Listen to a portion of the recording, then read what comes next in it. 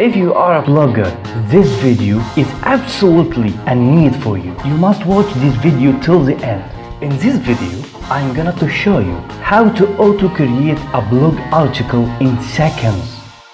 Before we start, I'm to to show you my blog. I here have a blog. This blog containing posts about jobs. It's simple and repeated pattern that I use. Job title, what department, experience, job description, job requirements. Of course, this is in Arabic, but I'm going to show you how can you do this with a simple and free tools. All what we are going to need is a Google form and Google Drive and Google Sheet and of course Google Docs. These three tools that we are going to use to auto-generate article or repeated article that you can use if you hire someone that create content for you as you want. Let's fill this form and I will show you what's going to happen.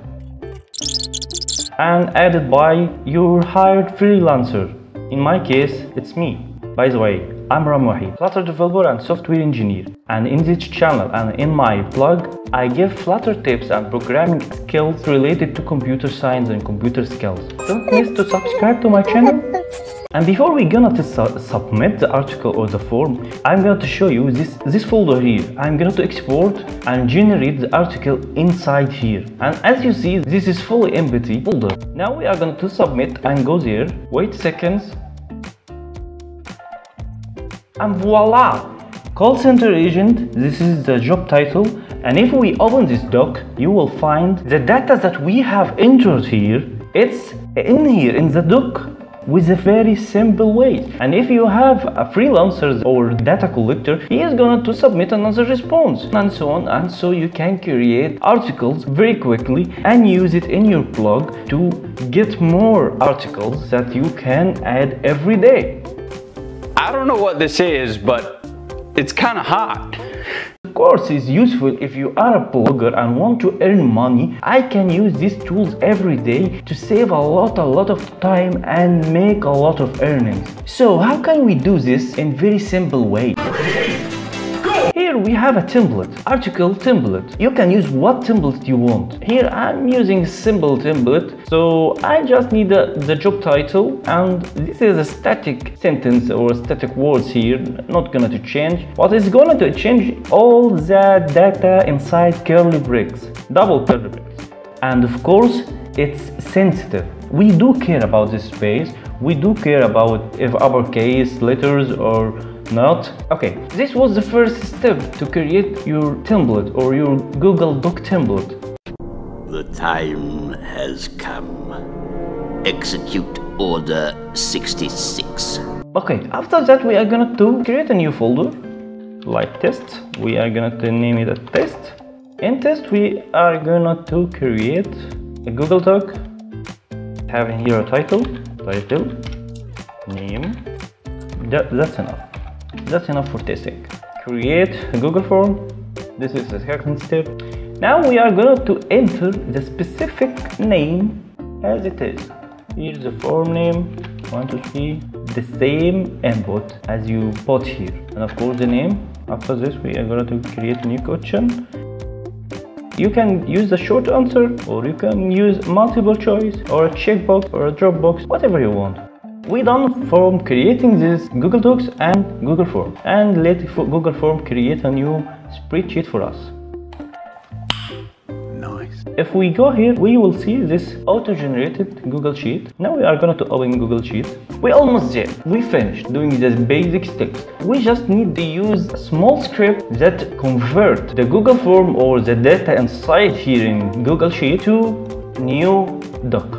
And how we can do this, focus with me. Here we are gonna to go to extension and open app script. If you didn't find it here, you can find it here in tools. Now we are going to delete all of this and we are going to use a custom script that I created for you. It's totally free. But if you want the script, you just go to my website and download from the article that I will put the link of it in the description of this video. You can go to this link and open a script here and you can select all of this and copy it. And go here to app script and paste. You can't change anything inside here and if you did this, the script is won't work for you unless if you can understand what's written there. You will just need to change this red text here. The first one it's your template ID. And how can you get this? You go to this template that we created now. And after the D slash we select this all here till the slash before edit. And copying it and paste it here. And here's the destination folder. Where do you want the output? I'm going to create a new folder here. Name it as out and open this folder. And after the folder slash this is the id take it copy and go here and paste it here now we are going to save and we are going to choose here create a doc from form to just get a permission and press debug and just wait this loading and getting permission for this folder or this ID, it's gonna to ask you permission right now. 2000 years later. Now you press review this permission and it's going to go to Google sign up or Google account and press your account, the account that have the data in Google Drive. Okay, and press advanced and go to untitled program. It's totally safe. It's asking you access for your account uh, your google account and to see and edit and create stuff in google drive and google docs and so on. We are going to allow this. This is totally safe don't worry. After that we are going to go this alarm here triggers. We are going to create a new trigger or add a trigger and we are going to choose create a doc from form. We are going to open uh, on form submit and notify me immediately if failure happened or something happened. And save. It's gonna to ask you again about your google account. Advance go to your project and allow and voila we have the trigger now it's done Let's go and test it right now. The title is going to be Water and the name is Ramy Wahid. This is my name. Don't forget to subscribe and visit my website ifeps.net. Now we are going to go here and you will find the timestamp or the date and the title and the name. And if we go here you will find this beautiful name. You open it and voila Flutter developer and the name. You can use these tools as much as you can. I'm presenting this method for free and this is gonna to make your life is way easier. If you are a blogger and creating a lot of blogs or even you're hiring a freelancer or a content creator that's gonna to help you to create the content now, are you going to go ahead and have those TPS reports for us this afternoon? Let's take this. Now I'm going to create new post and paste the result of this output. And after that, I'm going to customize it.